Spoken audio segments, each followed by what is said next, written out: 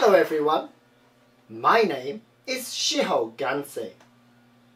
I like music. I like to play a musical instrument, sing and dance. Out of these, I have been practicing the piano hard from a young age. The teacher, when I was a first year student, made a story with music using a piano and musical instruments. She is my favourite teacher who delighted everybody with music. After meeting her, playing the piano is fun. I don't meet her because she is at a different elementary school now.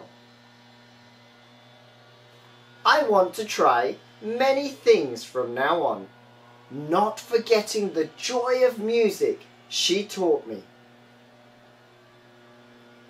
I want to become a music teacher in the future. Thank you for listening.